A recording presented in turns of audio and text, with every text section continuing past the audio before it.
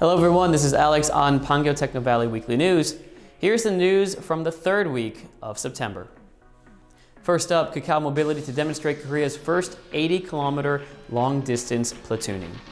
Kakao Mobility announced its development achievements of platooning service platform through a national project and said that it would be the first in Korea to demonstrate long distance platooning in the 80 kilometer section. Kakao Mobility announced the research achievements of V2X-based platooning service platform development by participating in the final performance presentation of Autonomous Cooperative Platooning Technology Development for Trucks, held by the Ministry of Land, Infrastructure and Transport on September 9th. Following the successful run of the 8 kilometer section from Seoul UIC to Yeoju JCT last year, the demonstration will be conducted in the 80 kilometer section of the National Highways Yeongdong Expressway and Jungbu Inland Expressway. Technological difficulty has also been lifted. The number of vehicles will be increased from 3 to 4 and the operating speed will be increased from 80 kilometers per hour to 90 kilometers per hour. The vehicle-to-vehicle -vehicle distance will be reduced from 15.6 meters to 12.5 meters, and more sophisticated platooning technology will be introduced. Korea Expressway Corporation has been operating a national project to secure platoon driving technology for four years from 2018 with support from the Ministry of Land, Infrastructure and Transport. Kakao Mobility is participating with Hyundai Motor Company, Kookmin University, and Ajou University to conduct R&D related to the development of an operating service platform that connects vehicles participating in platooning and the implementation of a logistics transport service model for technology commercialization.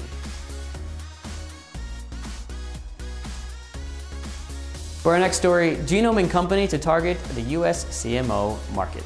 Genome Company, a new drug development company that utilizes microbiomes is entering the microbiome drug contract manufacturing or CMO market. It is a stepping stone for not only preparing a profit base, but also for entering the global market, starting with the United States. Genome and Company announced on September 8th that it has acquired a 60% stake in the US CMO company List Labs for 27 million US dollars, or about 31.4 billion Korean won. ListLab is a bio company headquartered in San Jose, United States, and has been in the CMO business of microbiomes and bacteria toxins for 43 years. The current production scale of List Labs is at a level that can produce reagents for use in clinical trials phases 1 and 2. The annual sales are around 100 billion won.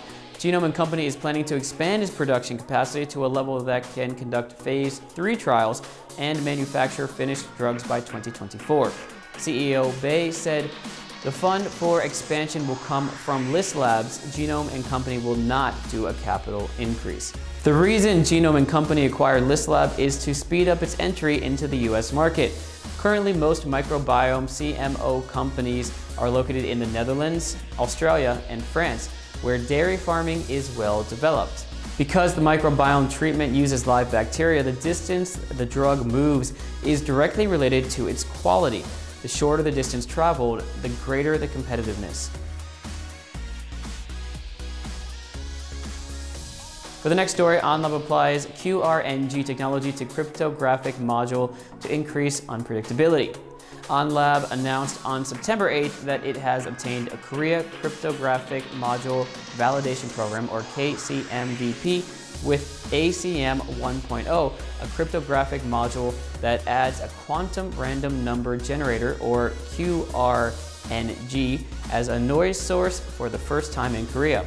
KCMVP is a system that verifies the safety and implementation sustainability of cryptographic modules to protect important information among data used in public information and communications networks.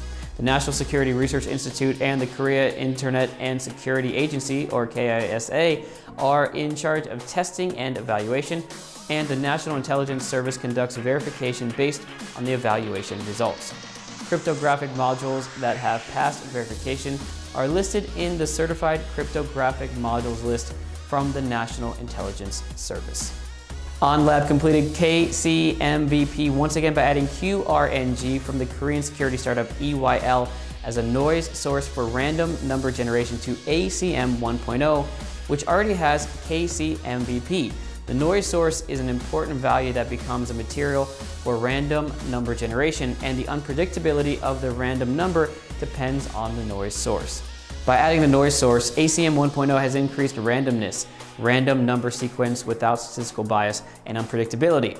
The next number cannot be predicted from the past number sequence of the random number sequence created in the environment where EYL's QRNG is equipped.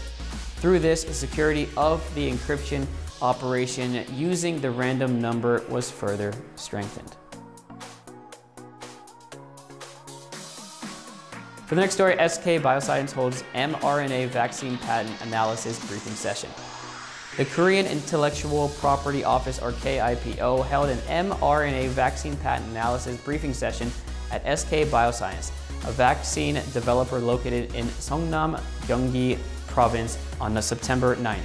At the business session, major technologies by mRNA vaccine production processes, key patents, examples, and disputes were announced.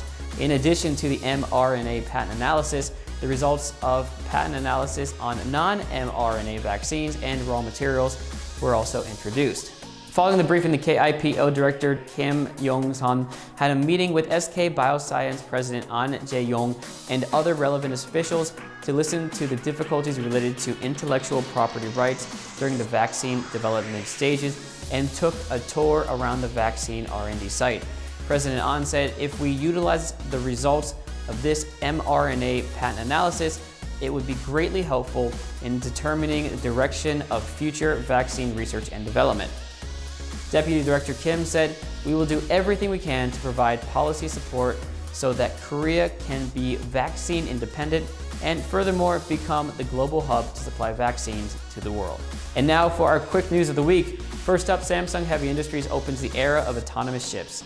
Shipbuilding company Samsung Heavy Industries announced on September 6 that it has succeeded in demonstrating the world's first autonomous navigation technology in which two large ships automatically avoid collisions at sea.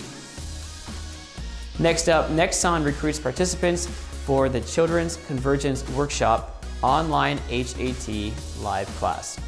Nexon said on September 8th that it has made online HAT live class the online course for Nexon Computer Museum's Children's Education Program HAT, which stands for Humanities, Art Design, and Creative Technology, and it will start receiving applications from September 9th. And finally, Kakao Webtoon ranks first in sales in Thailand just three months after launching. Kakao Entertainment announced on September 9th that Kakao Webtoon ranked first in sales in Thailand in August. It has been three months since its launch in June, and it comes from its active premium ISP supply and marketing. That's it this week for your Pangyo Techno Valley weekly news. My name is Alex Sigrist, and I'll see you next time.